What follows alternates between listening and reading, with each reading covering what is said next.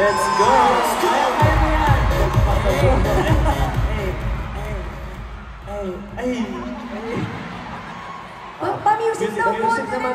Music Music! Ayan na. You!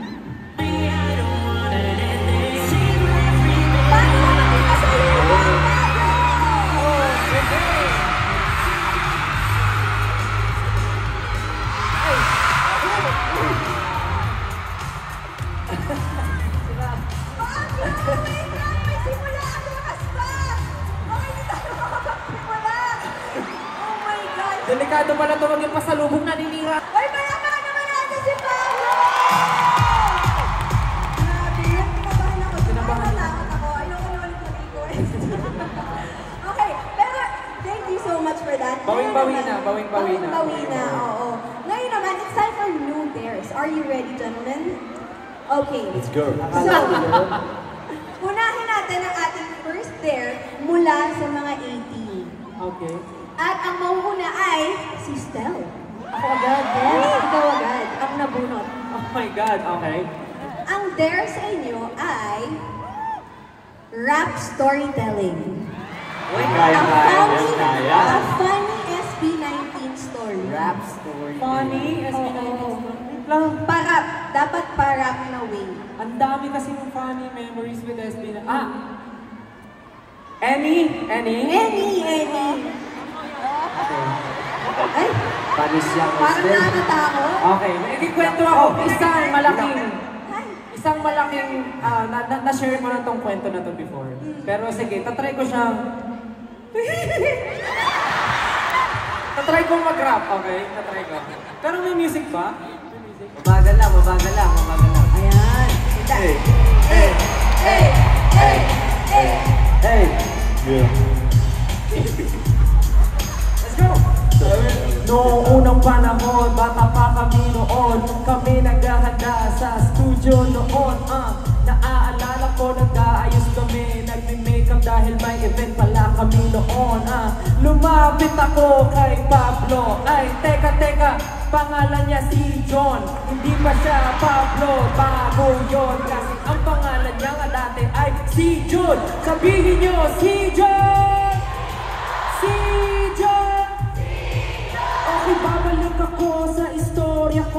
Ko So nagme-makeup na ako at lumapit kay si John. Sabi ko, hey, pahiram ng miss mo. Sabi niya, bro, konti na lang to, pasensya na. Sabi ko, okay lang, lalapit na ako kay Ken. Nangihiram ako ng miss. Sabi ko, Ken, pahiram naman ng miss mo.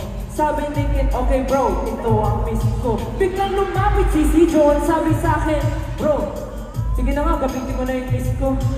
Sabi ko, okay lang nandito na yung kay Ken, gagamitin ko na ang miss niya. Okay lang, kahit wag mo na pahiramin sa'yo kasi ang sabi mo, mauubos na ang miss mo. Pero bigla siyang nagala, at sabi niya sa akin, "Hmm, gamitin mo na! Eto na! oh!" Nagulat ako, pinato niya,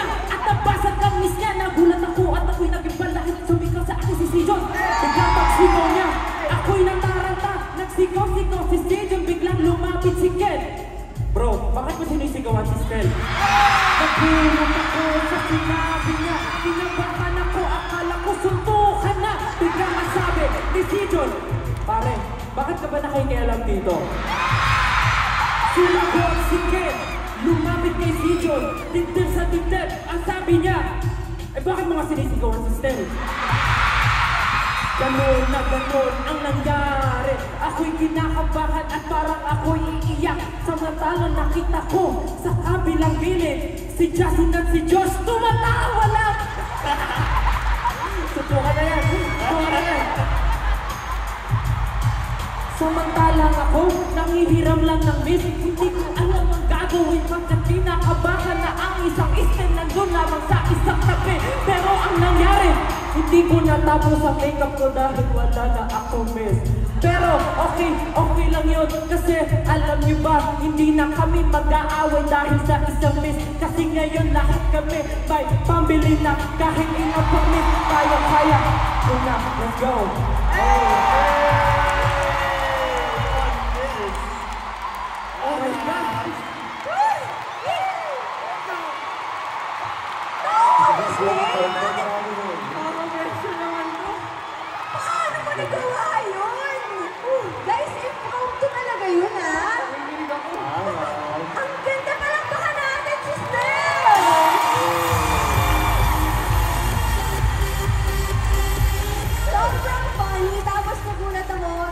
mo with a heartwarming uh, line na biglang kasi ngayon may pambili na kami lahat. Pero grabe true to life story yun. Oo. Mukha naman kasi talagang alam mo yung details. Pero eh. alam mo, itong dalawa, imbes na tulungan yung pigilan yung dalawa, talagang nag-ano sila. Natataw- Lalo na to, tawang-tawa sa gilid. Oh. Tapos sabi niya pa, bakit mo pinigil at magsusuntukan?